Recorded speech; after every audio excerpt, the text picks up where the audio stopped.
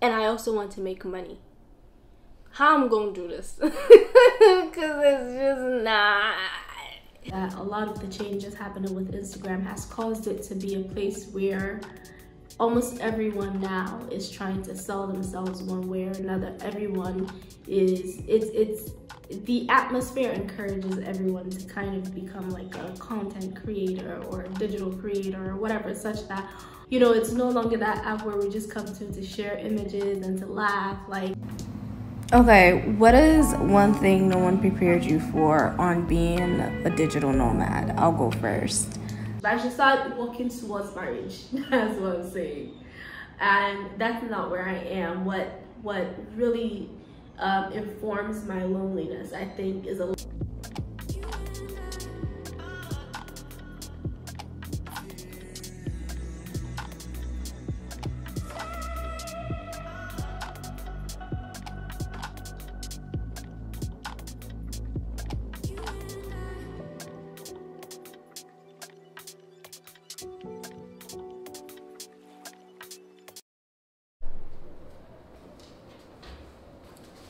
So I just received feedback from a friend who I asked to ask his brother who's in the field in web designing.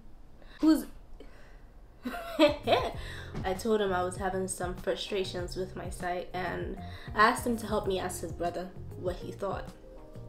My friend got back to me today and his brother's feedback, which was interestingly similar to a feedback that I received from a friend who was also a creative yesterday. And this feedback was that it was confusing.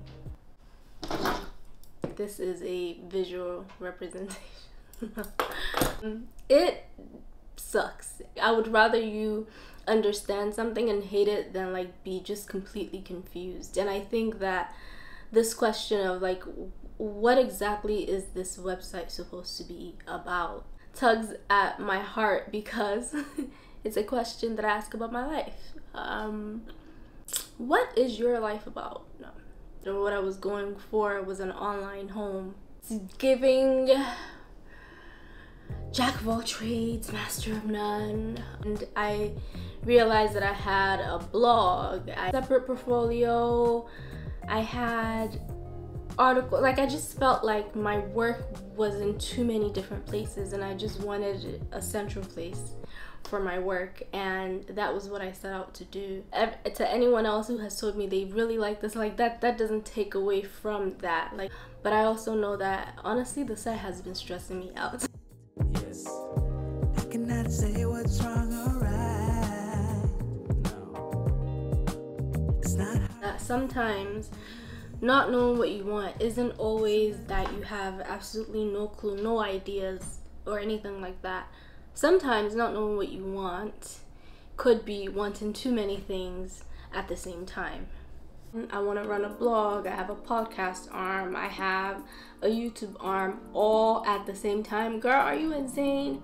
You know, I think that it's also important for me to be able to receive feedback that I may not like and that it's okay for me to not like it because it feels like I failed.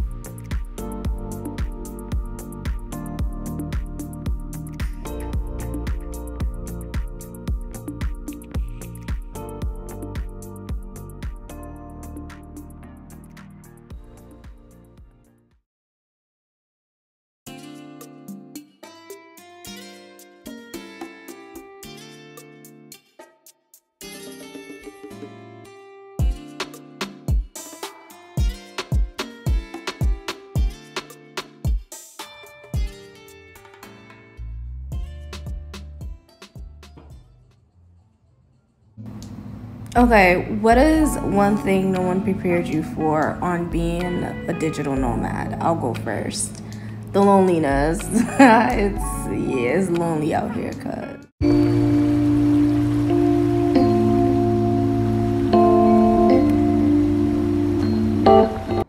So my um, my phone died, and I decided to take a nap a couple hours ago. That was a couple hours ago in front of me, tested. One, two, five. Okay. Two more things. loneliness. So I find that I'm lonely in a way that feels difficult to speak about um, because I, I, I am blessed to have people in my life who I know love me and who I know care about me. But there's a certain um, type of intimacy and friendships and within community that I miss. And I'm currently traveling solo. I don't know if I've actually ever mentioned that, but I'm a digital nomad. I'm a single black Nigerian woman who travels solo, who is 29 years old. And I find that my loneliness comes, and that's not to say that I don't want romantic relationships and everything like that, but my loneliness comes from not having other people around me on this journey who are also pursuing the same things that I'm pursuing. I don't, I'm not um, marriage averse. I am not, I don't have a, I don't want children of my own, but I don't, I'm not against children or being a nurturer or a teacher or anything like that. But I want my life to be about me and I want the people yeah, I, I, I, guess that's what it is. Instead of seeking the traditional path, I'm seeking a path of self-actualization. And, you know, while that does contain some traditional aspects, I find that it's so completely different because a lot of my friends right now are either planning to get married or about to be married or married. And if we're being honest, our needs and our wants and our desires in our lives are just different. And it's difficult not having people around you who are currently walking the same path as you. And I've also realized that I'm not as relationship um, in the traditional sense of like, by this time in my life, I should start prioritizing, prioritizing romantic relationship. I should start walking towards marriage. That's what I'm saying. And that's not where I am. What what really um, informs my loneliness, I think, is a lack of a tribe. And so I say all of this to say that if you are a creative person, if you are a creator or creative, it is so, so, so important to surrender, to surround yourself with your tribe, with other people who are on similar life paths as you. And I think I want to do a completely different um, either blog post or something vlog about what it is to be a single 29 year old Nigerian woman who is not exactly looking for marriage, but who does want family and what what family would look like in this instance and, and who is trying to redefine for herself what family is. Um, it's not easy, but yeah, I, that that is the essence of my loneliness and maybe I just want, maybe I just need like a travel partner. I want a life partner, but I suppose not in the traditional sense of the word. So there's that.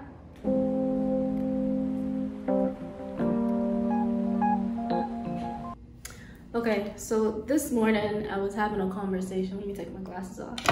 I was having a conversation with my sister Janet and I was telling her about how unmotivated I feel to post onto Instagram and how just like tasking and daunting it is and how distracting I also feel like it is.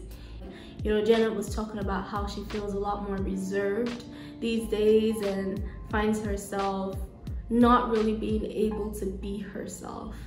And and I think that that's happening on a larger scale. I feel like because of the changes that are happening within the app um, people on the app who were before it's like it's almost like a second wave of instagram is happening. Um, but long story short i think the point is that for me it's conflicting as a creator because I, I was writing and blogging and doing all of that before, you know, being like a content creator got recognized or started being recognized as an actual job. And that has like a two-sided thing because on one end it's good because people finally realize that doing this shit is not easy. But on the end of a creator, it kind of puts you in a sticky situation because what you did before as a way of unearthing, as a way of expressing has now become this thing where if you want your work out there, you, you can't just focus on the work alone anymore. You have to also, on some level, focus on selling the work and the best avenue to do so is through like personal branding and I, it reminds me of a moment in film school where someone was talking about how um, pitching has become kind of an annoying thing because then people who are just good at writing, like there are people who are great at writing, but like put them in front of an audience, they can't speak. There are people who have to write um, under, is this, you know, pseudonyms, is that what they, under like a different name, you know what I mean? Like there are people who who have the gift of creating, but maybe not the gifts of selling and marketing. And it's just a very difficult climb to be someone who is just a creator. And yes, I suppose you can always hire someone to do the social media management part because I guess maybe that's what I'm saying I don't really enjoy or because of the atmosphere currently. But it makes me miss the part or the point when this used to be something that I did as just a way to express myself to laugh with like people in my community that I probably haven't seen in a long time, but people that I know, you know, not like trying to hustle to get other people and branded content and this and this and this and yeah, I I I don't know how possible it is to use to use the app for its initial intended purposes any longer feel that truthfully doing so kind of distracts for me from doing the work.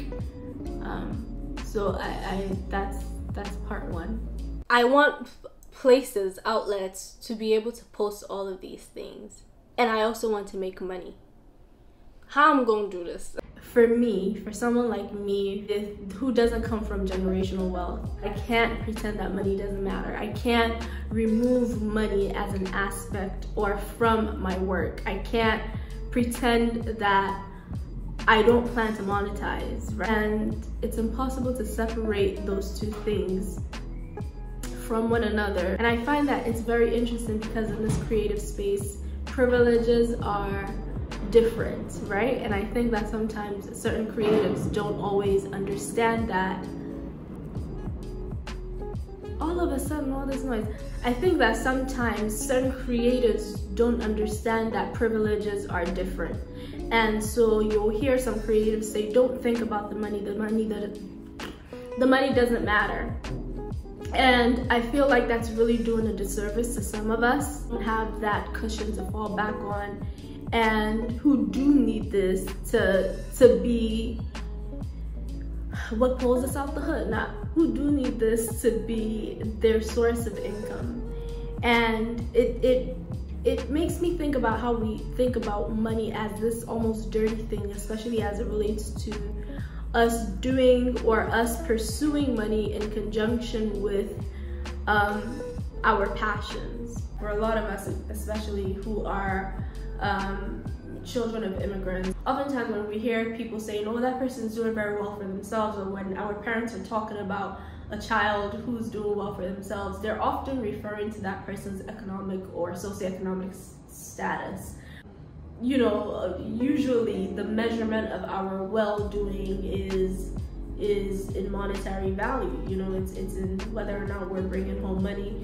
So I feel like for African children creators most especially, it's really, really difficult to navigate not prioritizing money, but at the same time, as African people, money just does not not matter to us. So that's that.